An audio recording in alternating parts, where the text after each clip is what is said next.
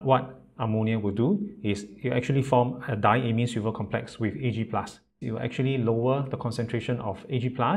and you decrease the concentration of my product involving the dissociation of my silver phosphate. According to Le Chatelier's principle, when there's a decrease in the concentration of my product, position of equilibrium will shift towards the right hand side, favor the fall process, which means that I'm favoring the dissociation of your salt and I'll expect more of the salt to dissolve, so solubility of Ag3PO4 will actually increase. Now for this question, we will not be able to calculate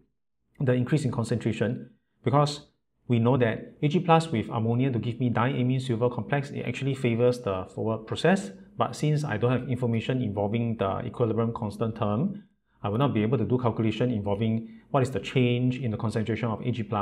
and therefore I will not be able to calculate the new solubility of AgPO4 in presence of ammonia.